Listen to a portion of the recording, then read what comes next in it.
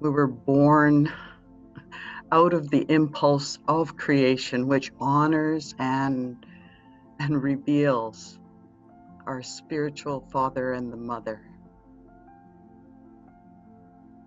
That current of life is with us and within us in this moment.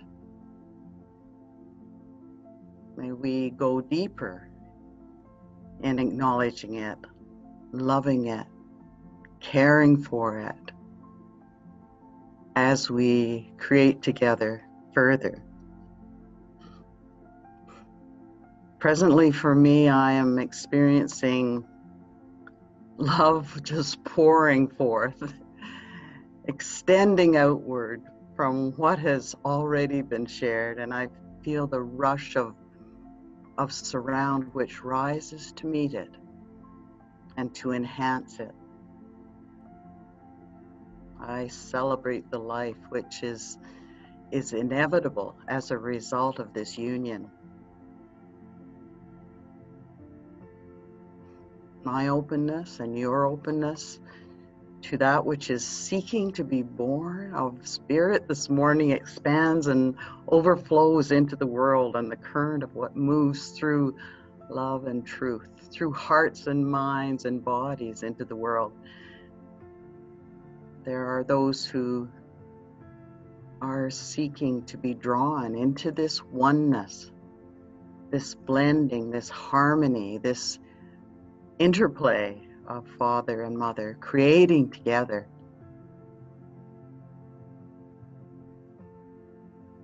I feel explosions of light.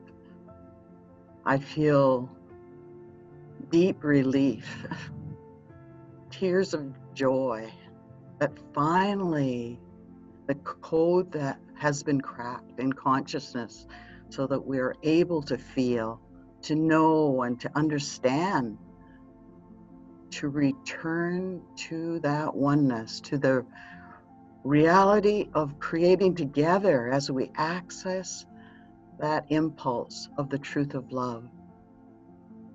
We also know our increase in ability to release what no longer serves our spirit together, one heart, one way.